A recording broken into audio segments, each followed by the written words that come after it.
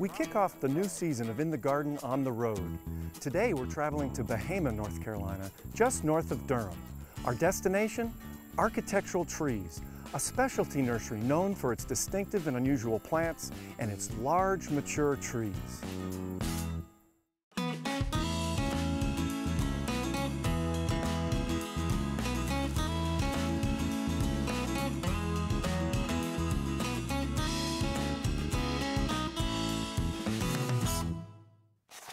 Wouldn't it be great to have a conversation piece like this in your own home garden?